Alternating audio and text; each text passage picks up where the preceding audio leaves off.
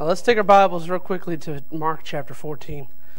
Uh, we'll start reading in verse 3. It says, Being in Bethany in the house of Simon the leper, as he sat at meat, there came a woman having an alabaster box of ointment of spikenard, very precious, and she brake the box and poured it on his head. Yeah. And there were some that had indignation with themselves and said, Why was this waste of the ointment? For it might have been sold for more than three hundred pence and have been given to the poor, and they murmured against her. And Jesus said, Let her alone. Why trouble ye her? She hath wrought a good work on me. For ye have the poor with you always. And whensoever ye will, ye may do them good. But me ye have not always. Verse 8 She hath done what she could. she has come aforehand to anoint my body for the burying. Verily I say to you, whosoever this gospel shall be preached throughout the whole world, this also shall that this also that hath she hath done shall be spoken of for a memorial of her. Let's have a word of prayer. Lord, I ask you to help me, Lord. I just ask you to hide me behind the cross, Lord. Not only you be seen, seen, Lord, help my words, help my nerves. I'm nervous, Lord. Just ask you to help me uh, pro- proclaim what you want me to here. In your name we pray, amen. this we read here about spikenard. Uh, according to the book of Song of Solomon, you can read in uh, verse or chapter one, verse twelve, and also chapter 4, 13 and 4, verse thirteen and fourteen. Uh, this this ointment or this this perfume was a very costly perfume. It's very costly, very expensive, very important to an individual that owned it. Yet this woman took that ointment and poured it upon Jesus, upon his head. It's also mentioned here in the text we read. It's also mentioned in John chapter 12. The same story, the same uh, instant takes place. We see that spikenard had a very strong, distinctive aroma, similar to what we would use as today as essential oils that clings to the skin and hair, and it continually gives off its heady scent. Spikenard had a unique fragrance, and the, pr- the presence of its aroma was an indication that the very best had been offered. Spikenard today would have cost, if not hundreds, if not thousands of dollars today, compared to when the Bible was written and when it was used we think about this. When she came and did this to Jesus, it was a sign of worship. I'd like to title this little thought, Give Him the Glory. Give Him the Glory. This lady, first of all, I'd like to think that she sat at the feet of Jesus and listened to His word. For sake of time, I'm not going to read all the. Uh, uh, references, but in Luke 10 38 and through 42, we see that Mary was at the feet of Jesus listening to every word that Jesus spoke. Intently, uh, she was attentive to listening to what God had to say, and she adored the Lord. We see that also she went to his feet in the, matter, in the time of sorrow when her brother died. In John chapter 11, verse 28 through 32, we see that this lady, she was sorrowing but yet she knew that God was sufficient in that matter. Also, I see that she sat at his feet as she poured the ointment on his head in John chapter 12, verse 1, and also in the text that we've read. She gave all she had. This thing that she could have sold one day for something and been able to retire on or whatever it may have been, been able to live well she gave to the Lord.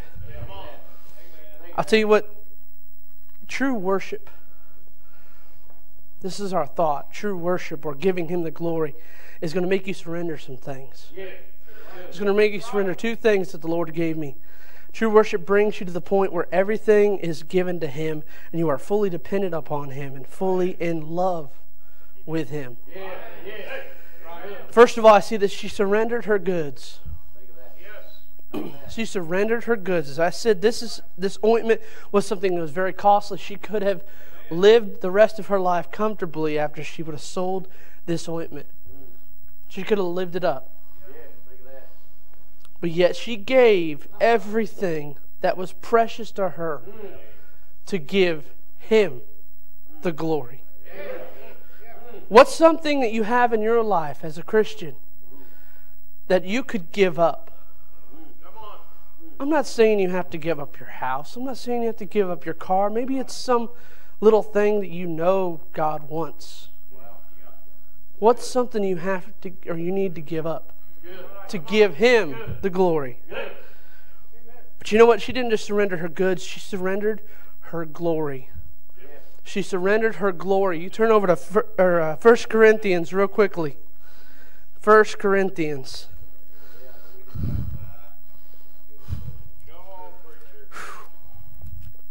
Chapter 11.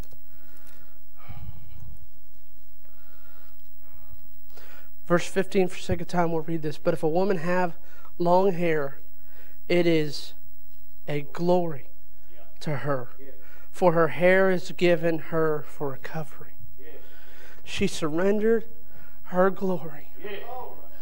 You know why people get up here and sing? It's not for their glory, it's to bring glory to God, to bring honor and glory to the God who brought salvation to us, who's blessed our life. She used her glory, as you would call it, her her attention that people gave her to wipe the feet of Jesus. When's the last time you gave your glory up to give Him some glory? When's the last time you gave your glory up to give Him some glory? Forget what people are going to think about you when you stand up and shout and praise the Lord. Forget about what, it, what, it, what someone may say if you give up and give a testimony. Forget about it. Surrender your glory and let Him have all the glory. I'll finish with this thought. She found out that at His feet, when she brought her burdens or her goods, and she gave her best, Jesus had a blessing waiting for her. You come tonight. I encourage you. I, I, I plead with you. Give up what God wants you to give up. Give Him the glory. Give up the glory that you think you deserve. And give it to Him. This song reads Do you remember when you were drowning in the sea of sin? Going down for the last time when you called upon His name. He reached down his nail scarred hand and he lifted you out. So remember where you were back then. Whew. And thank him for where you are now. Do you remember when, with all your heart, you longed to serve Him, but you didn't think that Jesus could use someone like you? Talking about these young kids who sang today. But look how He's used your life since He brought you out. So remember where you were back then and thank Him for where you are now. The, verse, the course goes, give Him the glory for what He's done in your life. He took you from sin and strife and gave a new start. He took your broken life and made you complete. So take off those crowns of glory that you have and you're wearing and cast them at the Savior's feet. Give him the glory. Acts 27. You don't have to stand. We'll read oh, just a couple verses here. Let's begin reading in verse Oh, let's see here. Let's begin reading in verse number 27. The Bible says, When the fourth, uh, 14th night was come, and we were driven up and down in Adria about midnight, the shipmen deemed that they drew near to some country, and sounded and found it 20 fathoms. And when they had gone a little farther, they sounded again and found it 15 fathoms. Then, fearing lest we should have fallen upon rocks, they cast four anchors out of the stern and wished for the day. Let's pray. Lord, I thank you for this evening. I want to thank you, Lord, for how good you've been to us and how you've met in my heart this evening. I thank you for using each and every person that sang this evening and the, the message we just heard. Lord, I thank you for it. God, help us to give you the glory in our life and use me as I preach for a few minutes. In Jesus' name I pray. Amen. This is one of my favorite chapters of the Bible. I just love it. And there is so much preaching here that, oh man, preacher, you could you could preach for months on this chapter, probably, no doubt. There's so much here. I love it. But we just got a couple minutes. I'd like to share a few things out of here. And I'd like to preach to you just for a couple minutes on this thought some country. Some country. Let's notice a few things. We'll get right into it. First of all, Notice the sailors. The sailors. And we're going to skip a lot through here, but just sometime read this chapter. I promise it'll bless your soul. The sailors. Now, what happened here is Paul is being sent to stand before, I believe it's Caesar, and uh, he's, he's been set on this ship as a prisoner, and they are sailing across uh, to, to go over there to Rome. And because these men absolutely ignored what the man of God said, they are now in a storm, in a terrible storm. Uh, this storm, it comes that we find in uh, the verses, let's see, uh, verses 15 and 16, we find uh, that this storm, verse 14, this storm comes out of nowhere. It just, it, just happens in the moment of time. And this ship is now caught in this storm. Bible describes it as a tempestuous storm. Uh, a, a, a, tempestuous wind. It says that the ship was caught and could not bear up under the wind. They ran into an island. This ship, was very, excuse me, this mic is falling. It was a very strong storm. And mind you, the reason, like I said a minute ago, the reason they are in this storm is because they absolutely disobeyed and ignored the man of God. And I want to say, this isn't the whole message, but I want to say, if you, if you just ignore what the preacher tells you, and I realize the preacher is not God, he doesn't know everything, but he knows more than most of us do. And if you ignore what the man of God says, I promise you, in a moment of time, you're going to find your life in a wreck. I promise you. I'm not trying to be mean, I'm not trying to hurt the spirit, but I'm telling you, when you ignore the man of God, nothing good will come from it. Yeah, it might seem good for a little bit. The south wind might blow softly for a couple weeks. But I promise you, somewhere down the line, you're going to find your life in a wreck because you dis- dishonored and you, didn't, you just ignored the man of God. I promise you it'll happen. I've seen it in too many of my friends' lives. I've seen it in too many lives. I promise you, when you, when you don't listen to the man of God, you will find yourself in trouble. And so it's not far fetched to say that this storm is their fault. If they had listened to Paul and just stayed there, everything would have been fine. But Nonetheless, they are in this storm. Notice a couple things. Notice their scheme in verse 12. Here's what they say. And because the haven was not commodious to winter in, there's always an excuse for, for disobeying the man of God. They, people always have an excuse for just for their just for, for their disobedience and dishonoring God is really what it is. There's always a convenient excuse. It's just staying here doesn't make sense. And you know, following God doesn't always make sense. But they say it doesn't make sense to stay here, let's let's let's just go down here to Phoenix and Lasea, where Euphemus means a palm tree. Preacher, we don't want it so hard. We just want to relax a little bit. I promise it's not the whole message, but just you, you understand what I'm saying? They're saying it doesn't make sense. We don't want to stay. It just doesn't make sense, man of God. So we're going to do what we want to do. And we notice their security in verse 13. The south wind blew softly, supposing they had obtained their purpose. Might be okay for a little bit. They sailed close by Crete. Now, I've got a question for you.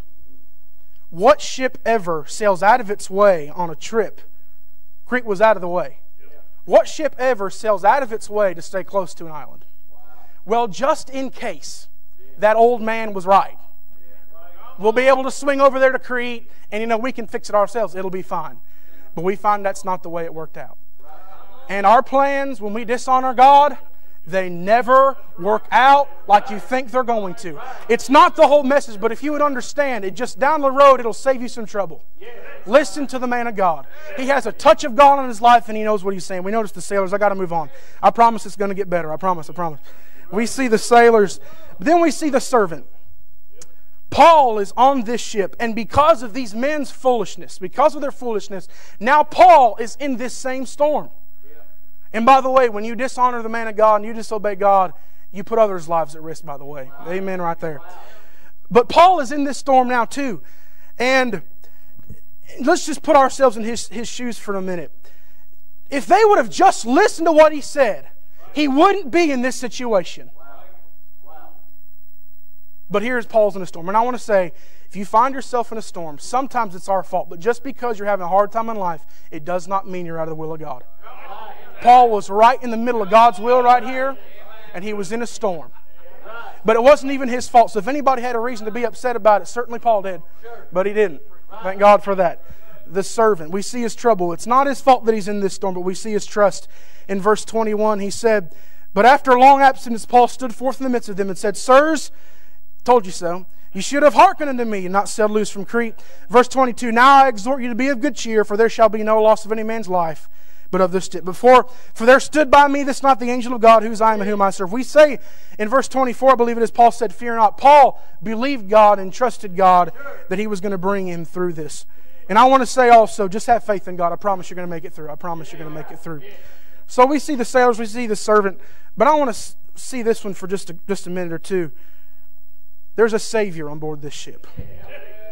You see, in the darkness of this storm, in all of these negative things going against Paul and his ministry, and all this terrible mess, and all of this consequence, and just awful things going on, in the midst of all these sailors, in the midst of this man of God, there was somebody else on board this ship the whole time they were sailing.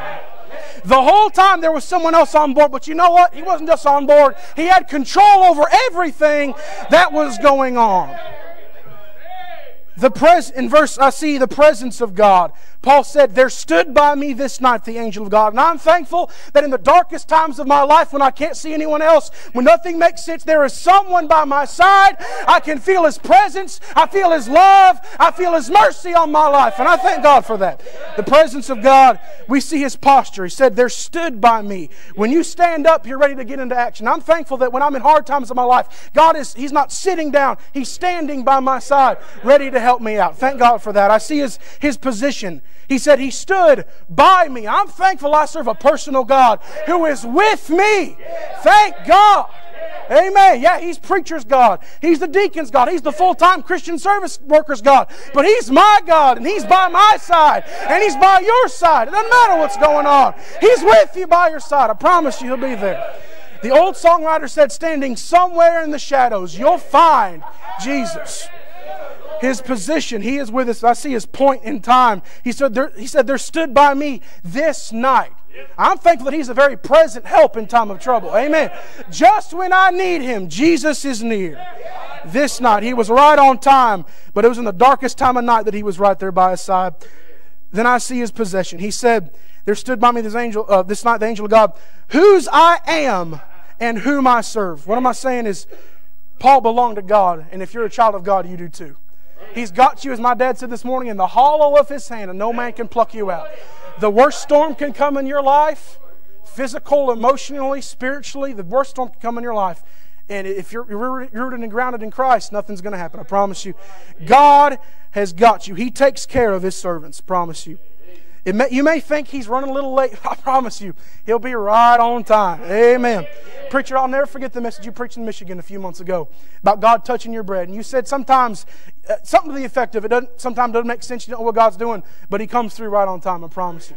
He will every time. And the song says, just when you think your world is falling apart, you'll find He's holding your world in His hand. Can I encourage you this evening? God's got this. God's in control. It doesn't matter what's going on. I understand we have hard times, troubles come, but God is there and He's got control of it. One more thing, and I'm done. We see the sailors, we see the servant, we see the, uh, we see the Savior, but then we see the spot. All right? Man, we could preach here for a while. Man, this is good stuff right here. But in verse 27 says, About midnight the shipmen deemed that they drew near to some country. There's a lot I'd like to say here, but I'll just focus on those last two words. Some country. I realize the place they landed on was not a type of heaven, but I believe there could be a parallel made. Because I'm telling you, we're on this ship of life, if you will, we're on the waters of life, and, and uh, sometimes it gets dark, sometimes it gets stormy. But I'm telling you, keep your eyes on Him and keep moving forward because we are nearing some country. Some country. Now, I'm telling you, heaven is some country. Now, real quickly, and I'm done. Promise I'm done. Uh, we're in Kentucky. I guess this is the South. I guess technically. We've been in Pennsylvania from New Jersey, so forgive me. I'd forget what the South and what isn't. I miss, miss down here. Anyway, some country. That can be, in our vernacular, I'm not really a southerner, but I, I mean, I've kind of made myself because I can't stand people up there. By the, I'm just, I'm sorry, but I just, people up there are weird, man. I love them so much, but they're just, they're just different up there. All right. But, uh, that's, I'm sorry. But that can be some southern talk, all right? Some country. So if I ask, if I ask Preacher Fisher, I'm just kidding, Preacher Foster, if I ask Pastor, if I ask Pastor, hey preacher, what do you think about this restaurant? Just some random restaurant. What do you think about that? And if he looked at me and said, Oh brother, that's that's some restaurant, then he wouldn't have to say another word. I knew exactly what you're saying right there, preacher. It can speak of its its location. Okay, where, hey, brother, do you know where this country is? Oh, it's somewhere. It's some country. I don't know where it is. It speaks of its location. We don't know where it is. But like I said, it can also speak of a description. If I ask, you know this restaurant, so that's some restaurant. He don't have to say another word. I know exactly what he's saying. I'm telling you, it seems dark now, but I promise you, we are drawing near to some country. And it's some country. I don't know where it's at. I've never seen it. I can see it by the eye of faith, thank God. I've never been there, but I promise you one day I'm a going. And you know what? Uh, beyond that, but the way the Bible describes it to me, it's just a little glimpse. But I'm telling you, it's some country. I've never seen it, but it's a beautiful place. And I promise you, stay on the ship, Stay faithful. Keep your head up because we are nearing some country. Book of Mark, chapter number 6 tonight. We'll begin reading in verse number 30, if you would. And when they knew, they say, Five and two fishes. And he commanded them to make all sit down by companies upon the green grass. And they sat down in ranks by hundreds and by fifties. And when he had taken the five loaves and the two fishes, he looked up to heaven and blessed and brake the loaves and gave them to his disciples to set before them. And the two fishes divided he among them all. And they did all eat and were filled. And they took up twelve baskets full of the fragments and of the fishes. Let's pray. Lord, we love you tonight. And we thank you for the good opportunity you've given us to be in your house. And Father, I pray Lord, I need you tonight. And Lord, I pray that you wouldn't let me stand up here by myself. Lord, that you'd be with me. Lord, I need your touch. And I pray that you'd guide my tongue and help my mind to be clear and be able to say the things that you've laid on my heart. And Lord, I love you and thank you. In Jesus' name. Amen. Thank you so much for standing. You can be seated. I'm interested in this passage of Scripture, uh, chapter number 6, verses number 30 through verse number 43. We find in this passage of Scripture there is a big list of things that are going on. There's a lot going on in this chapter. And uh, but I'm very interested in the desert place that's mentioned 3 times in this chapter. As I began to look through my Bible, I noticed that many people experienced a desert place or a wilderness wilderness place in their life. Moses was a man of God that had a desert place. The children of Israel had a desert place. We know that John the Baptist had a desert. Jesus himself uh, had a wilderness or a desert experience. And in Mark chapter number 6, uh, we find the desert place that is given to the disciples. Yep. If we go back and look at the beginning part of this chapter, I'm interested in this desert place and the circumstances that surround this desert place. There's really a lot going on. And if you look uh, back into verse number 14, you'll find that that begins a list of problems in this chapter. If you look, you'll go back and you'll find a man that is in power, that is a wicked man. We know that Herod is the king at this point in time, and he was a wicked and ungodly man. He was the man that was in control of the government in this, uh,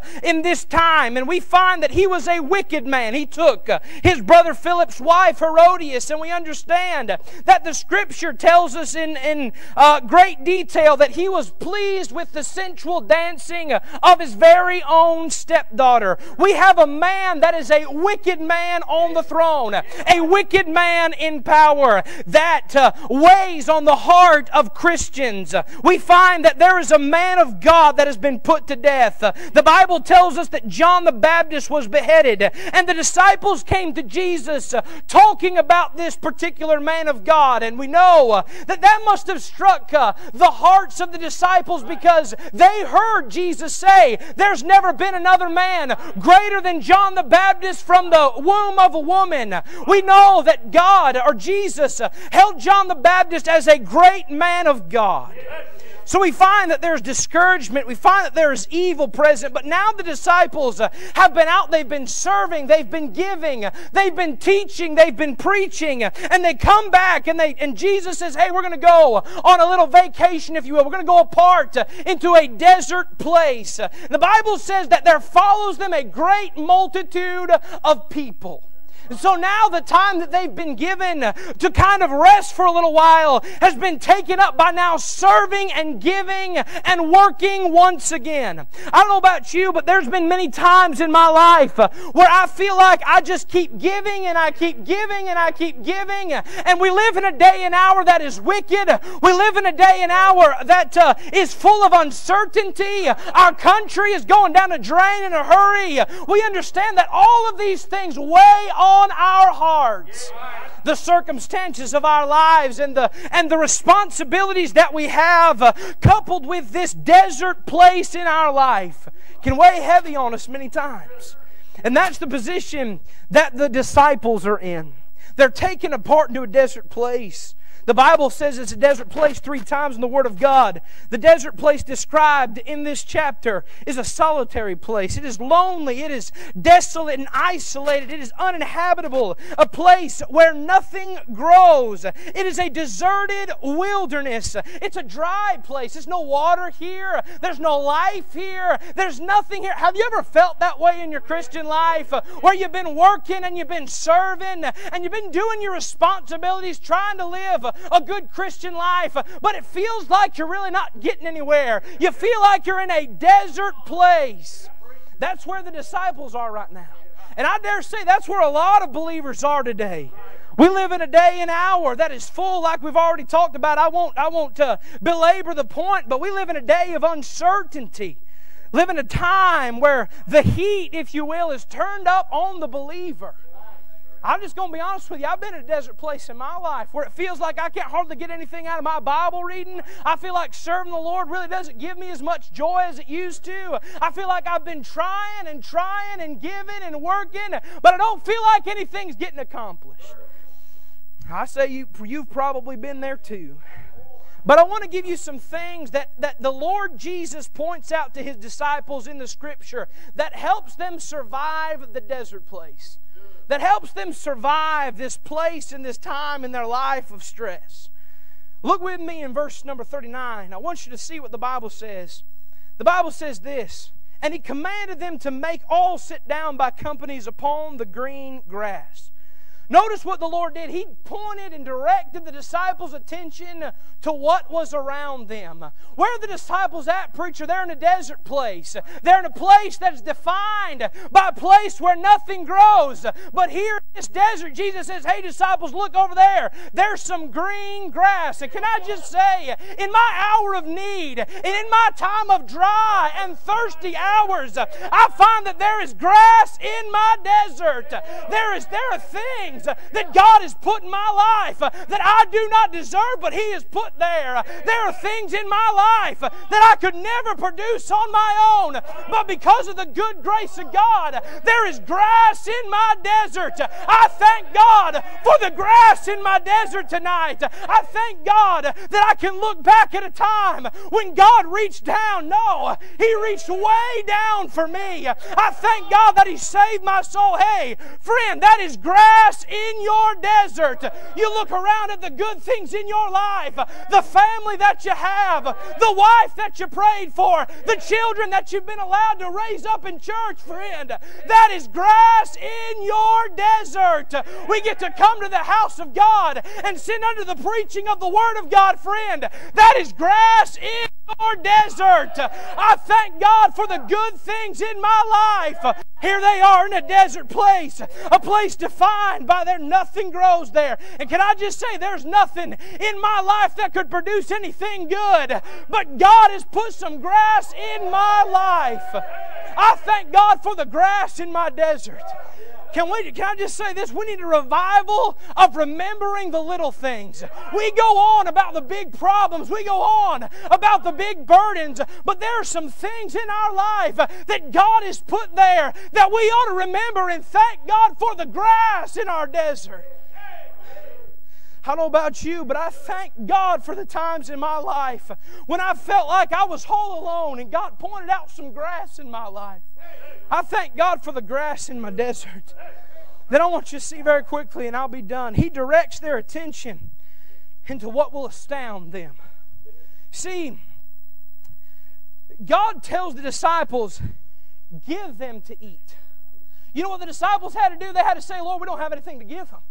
I don't know about you, but I've come into church sometimes and I've been on the schedule to sing, or maybe I've been on the schedule to preach, and I feel like I don't have anything to give. I've been given and I've been given, and I've been pouring and I've been investing my life uh, into other people, but I haven't really received anything. I haven't really gotten anything. And that's where the disciples were. They've been given and they've been given and they've been working and they've been serving. So what does Jesus tell them to do? They, he says, Hey, give them to eat. And they said, Lord, we don't have anything to give them. And so, you know what they had to do? They had to get real close to Jesus. You know what Jesus said? He said, Hey, you don't worry about giving them anything. I'll give you something to give to them. And I thank God that there's been times in my life and in the ministry where I feel like I've got nothing to give, but I, I scooch up close to the Lord and He gives me something to give to others. He gives me uh, something in my soul to be able to pour out to other people. I thank God for that. And you know what? What they would have never seen the miracle preacher if they would have quit. If they'd have given up, they'd have never seen the miracle. You know, the Bible says over in the book of John, chapter number two, this is Jesus' first miracle. We understand this is the first time that Jesus ever did anything miraculous uh, that, that is recorded in the scripture. There at a marriage in Cana of Galilee, and Mary, the mother of Jesus, comes over and he says, Jesus, we don't have any more wine. They've done run out of wine for this marriage uh, uh, celebration. So Jesus says, Mary, what do you want me to do? And Jesus told the servants, whatever he tells you to do, that's what you do. So the servants uh, did exactly what Jesus said. They began to fill pots with water. And as they began to pour it out, the Bible says that water was changed into wine. You know what the Bible also says? It says that they brought it to the governor of the feast, and the governor knew not whence it came. But if you look in little parentheses in that verse, the Bible says, But the servants which drew the water knew. Can I just tell you, if you give up, you're going to miss the miracle. Anybody can see the product of the miracle, everybody can recognize that a miracle has taken place, but only the servants get to see the process of the miracle. It was the servants that poured out the water and watched it changed into wine. It was the servants that took a little piece of bread and broke it off and gave it to someone. And they looked back and there was more bread to give. It was the servants that got to watch the miracle. Can I just, can I just encourage you tonight? Don't give up.